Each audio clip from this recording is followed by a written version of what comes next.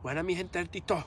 Hoy estamos aquí que venimos dando un paseo por el campo de Torremolinos con mi primo David, que en verdad tengo un poco de canguelo. Hemos venido a buscar gamucinos y estoy una milla asustado porque se está acercando la noche de Halloween y de comerme traído en un tapeguare una fajita.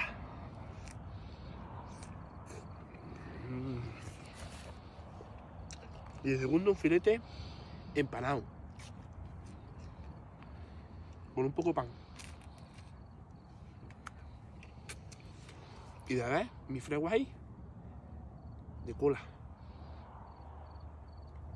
Fresquita, siempre operativa, que nunca falte. Y de postre me echa un mango que no vean los pechos subiéndolos para arriba para abajo, que me trae el mango ya por la calle la amargura. Así que mi gente, TikTok. Mirad qué pinta y qué lustre. Así que un saludo y nos vemos en Halloween.